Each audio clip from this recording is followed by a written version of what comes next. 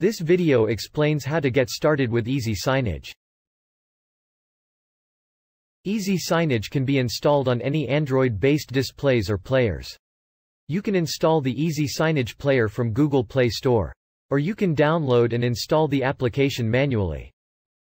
To install from Play Store go to Play Store on your device.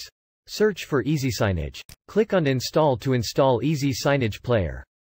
Otherwise download it from easysignage.com d player. For more info about installation visit our support documentation page at support.easysignage.com. After the installation, the Easy Signage player will be launched with a loading screen. Wait until you see the display ID. Open your browser and go to manage.easysignage.com. From the dashboard click on Add Display. Enter the ID you see on the screen.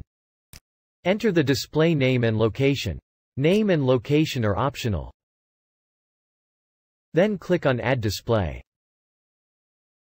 Wait until you see your display in the list. After adding the display, click on Set Media Source. If you have existing playlists, they will appear in this dialog. If you don't have any playlist yet, click on Set to New Playlist. Enter playlist name and click Save. A new playlist will be created. Click on Upload Media. You can upload images, videos and PDF files. Wait while they are uploaded. Check the upload progress in the bottom of the page.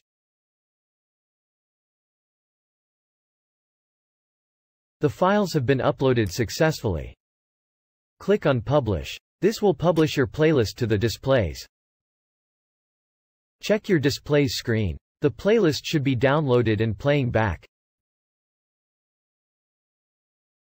For more info visit support.easysignage.com.